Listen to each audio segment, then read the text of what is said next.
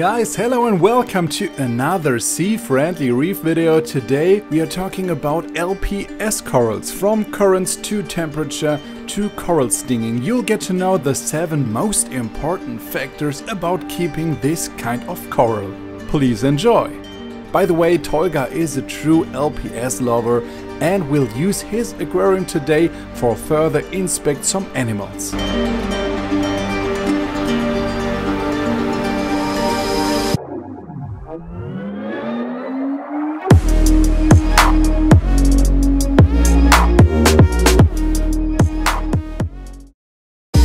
Let's begin with the first point, the best food for LPS corals. LPS corals are able to eat coarser food in contrast to SPS corals, for example. It is recommended to use zooplankton, frozen food, mysis, lobster eggs, dry food and artemia for bigger animals, as well as fresh clams, for example for acanthophyllias. Yes, they can eat whole pieces of clams, unbelievable.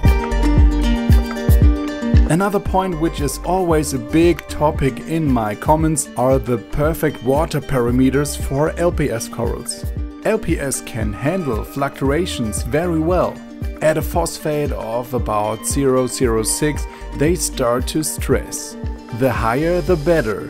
LPS tanks can handle parameters of more than 0.09 to 1 to about 2.5 phosphate. Please never do that with an SPS tank. Nitrate has to be adjusted. So if you've got a phosphate of 0, 0,1, it's the best to adjust nitrate to 10. So adjust phosphate to food, then adjust 100 times nitrate. Easy to remember. And it's the best to dose KH higher, about 8 to 8.5.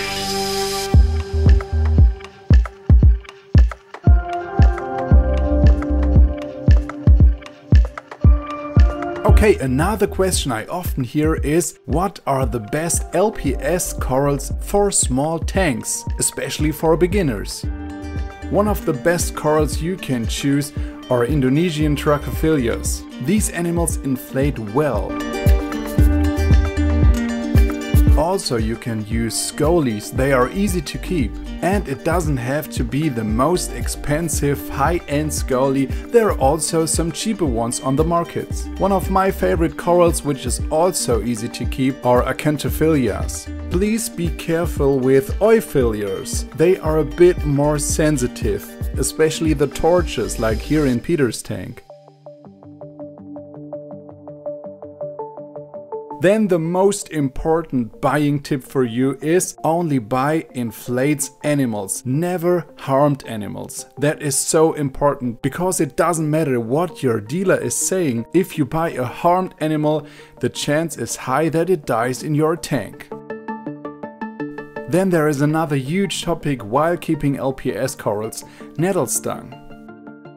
For example, scolies are always attack others, but never themselves, so you can place a scolie next to a scolie. Normally, this is no problem.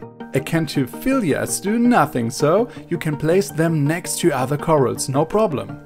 Lobophyllias are the worst. They are going to kill nearly every other coral in the same area. Also, Echinata species just look the same as Acanthastrea, are more dangerous than others. So the best is to take a closer look at the coral you want to keep. Next point, temperature. It's no problem to keep LPS corals a bit colder than others, so about 22.5 to 23 degrees Celsius. It's also the best to place your LPS corals not in a high light zone, so please turn your LEDs a little bit down for that type of coral. And the last point is current. Keep them out of the flow. Scolymias, Acanthophyllia, Trachyphyllia, doesn't matter, they are not wanna stand directly in strong flow. But there is an exception. Euphyllias, they love good flow. So the best current setup for an LPS tank is a pulse mode to move everything and then full current, for example 3 to 4 times a day to flush dead areas in the tank. Alright, now you know some of the most important factors about keeping LPS corals. If you know some more important facts, write it down in the comments and see you next week. Thank you for watching.